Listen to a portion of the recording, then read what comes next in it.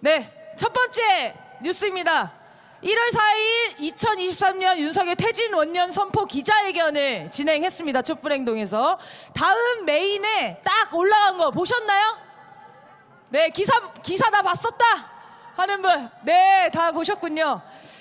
조을 작가님의 윤석열 조형물에 부적을 붙이는 퍼포먼스가 아주 이슈였는데 이 퍼포먼스가 전혀옥의 발작 버튼을 눌러버린 것 같습니다. 대통령에게 저주를 퍼부었다며 날뛰던데요.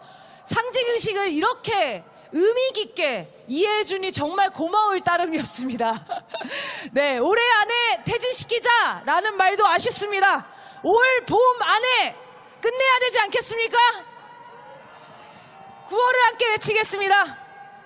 2023년은 윤석열 퇴진 원년 올봄 안에 퇴진시키자! 네, 두 번째 뉴스입니다. 강제징용 노동자 배상 문제를 뽑았습니다.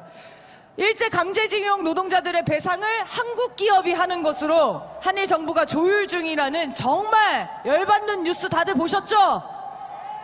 1월 10일 공개 토론회를 거쳐서 신속하게 결론을 내겠다는 뜻을 한국 정부가 일본 정부에 전한 상황이고요. 일본은 이 공개 토론회를 최종 단계라고 생각하고 있답니다. 1월 13일에 미일 정상회담이 예정돼 있습니다. 이 자리를 위해 친일 매국노 윤석열 정부가 일본에게 줄 선물을 마련한 것이 아니겠습니까? 거기다가 더 열받는 일은요. 13살의 강제징용으로 끌려가 일본의 사과를 받기 위해 평생을 바쳐 싸우신 양금덕 할머니 아시죠? 네, 이 할머님에게 서운을 우리 정부가 수여하려고 했는데 일본 눈치를 보면서 취소시킨 일도 있었습니다. 우리나라 인권상도 일본 눈치 보면서 수여해야 되겠습니까? 9월에 함께 외치겠습니다. 일본의 아부굴종 윤석열은 퇴진하라! 굴종외교, 구려외교 윤석열은 퇴진하라! 네, 세 번째 뉴스입니다. 안보 무능 전쟁이 고조를 뽑았습니다. 이게 가장 아, 국민들을 열받게 했었던 퇴진 사유일 것 같은데요. 무인기가 용산까지 왔었다는 사실이 밝혀졌습니다. 무인기 날고 있을 때 윤석열이 어디 있었죠? 송년 만찬 모임에 가서 회식했다는 거 아닙니까?